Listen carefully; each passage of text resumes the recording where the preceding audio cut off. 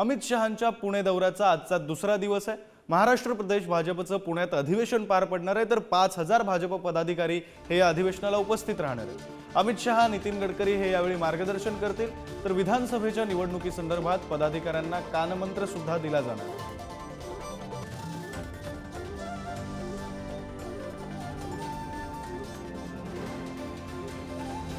पुढची बातमी सुद्धा पुण्यातील भाजपच्या या अधिवेशनासंदर्भातीलच पुण्यातील भाजपच्या अधिवेशनाच्या ठिकाणी मोदी संविधानाचं दर्शन घेतानाचा फोटो लावण्यात आला. भाजप संविधान बदलणार या विरोधकांच्या टीकेनंतर आता हा फोटो लावण्यात आलाय.